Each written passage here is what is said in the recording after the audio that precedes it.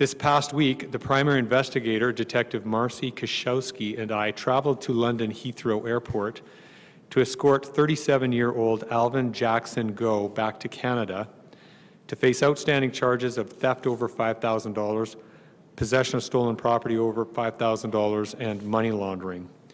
He was in England because, despite there being an agreement with his defense lawyer, Crown Counsel assigned to the file, and the Edmonton Police Service, Goh failed to turn himself in on May 16th, and we were forced instead to obtain an international arrest warrant through Interpol. He was then arrested in London on May 25th and held in custody while we made arrangements to have him return to Canada.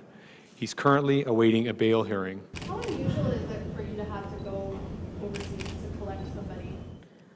Well, for me, very unusual. Um, I haven't done this before. And as far as the service goes, I, I do know of one other instance where this occurred, but um, I'm not really familiar on how many cases there have been. I'm trying to imagine what an eight-hour plane ride with somebody in handcuffs would be like. Can you tell us about that?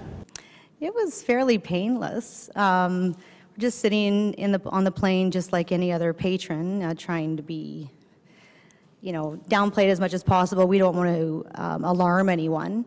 And uh, so we just have a conversation about things that are not related to the file and eat. And he watched a couple of movies, and that was about it.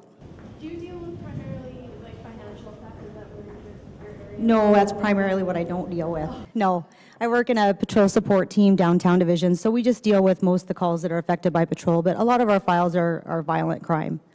So this was a little bit out of the norm for what I would typically investigate, yes. Yes, it was a challenge, and I did enjoy it, yes.